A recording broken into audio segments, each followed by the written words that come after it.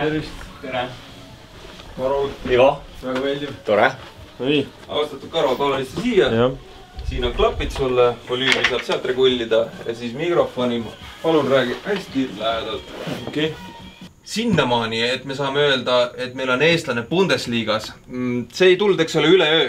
kõigepealt läksid sa minu teada Norra mängima, siis Hollandisse, sealt vist Rootsi, kui ma ei eksi.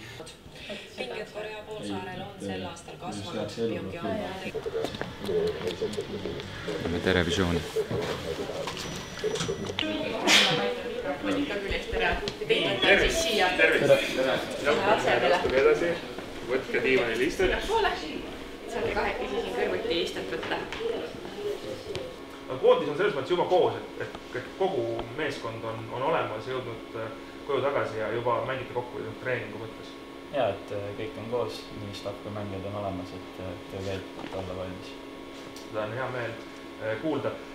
tegelikult äh, olen, olen väga suur fänn, et minu, minu muusika, muusika nii-öelda sahtel on, on päris kirju, et seal on nii tänapäevast igasugu hip-hop'e, Eesti laule, välismaad kui ka rokki. tugevamalt, davai, tugevamalt.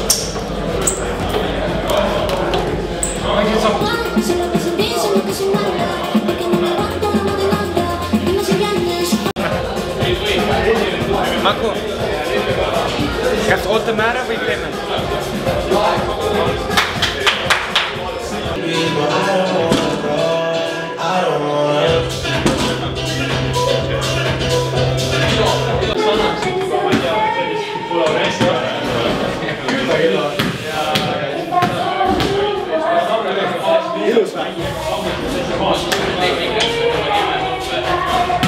Thank you.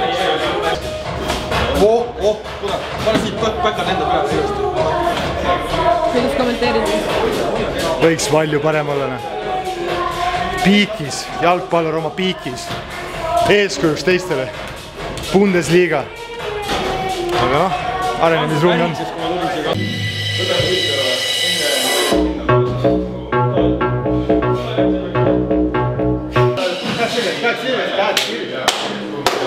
ja vapsad kettad.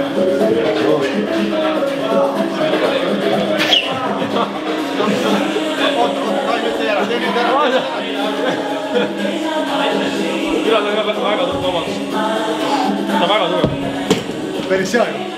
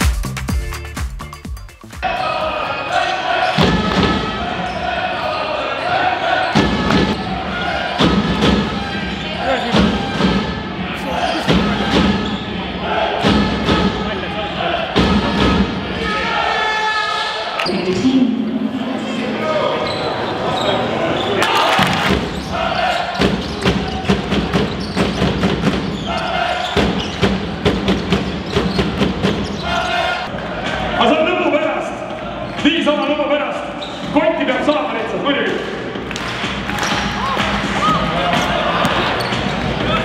Nonii, järgmise võistlejal meil palju jäänud ei ole.